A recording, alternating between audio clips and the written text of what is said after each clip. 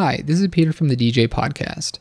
The 3.2 update to Mixvibes Cross DJ lets you mix tracks from SoundCloud with tracks that are on your computer.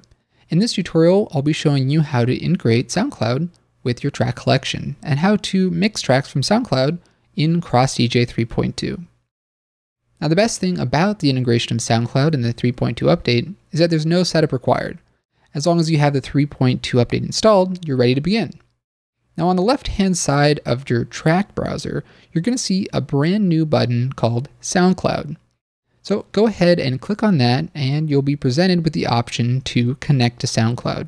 If you already have a SoundCloud account, you can click on connect to SoundCloud and log in with your username and password. By doing so, you're going to be customizing the experience based on all of the information that you already have on your SoundCloud account. It'll give you access to your tracks, favorites, and even your stream for artists that you follow. Now, if you don't have a SoundCloud account, that's perfectly fine too. You can use the SoundCloud integration without it. It's just that if you do use your SoundCloud account, you get a more personalized experience. Now let's take a look at actually finding a track that we want to use in our mix.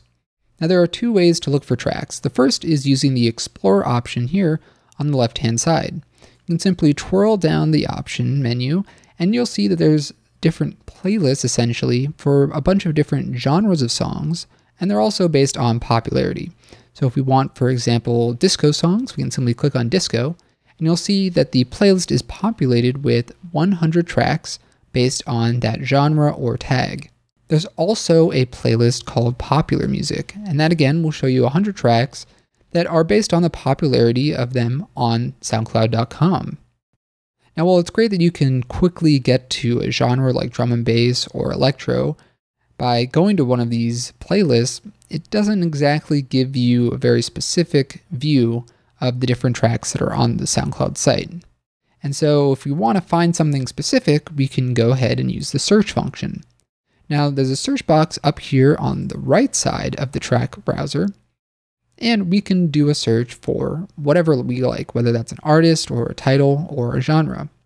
So we're going to go ahead and search for an artist and a song. So we're going to go and search for Rebound by Arty, and you'll see that there are no tracks in our search results. That's because when you search with one of the Explore playlists open, it's going to search in that particular playlist and not all of SoundCloud's tracks.